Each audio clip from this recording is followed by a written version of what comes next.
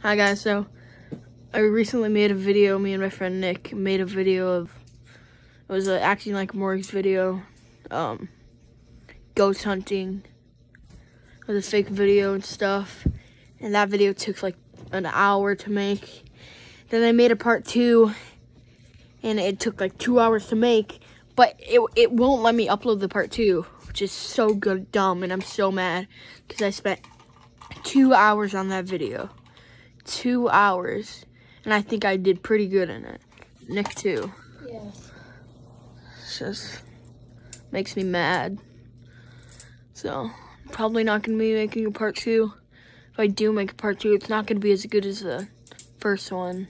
This, if we do record, it's probably gonna be in the daytime. Yeah. But yeah. So that's why we didn't make a part two. So bye.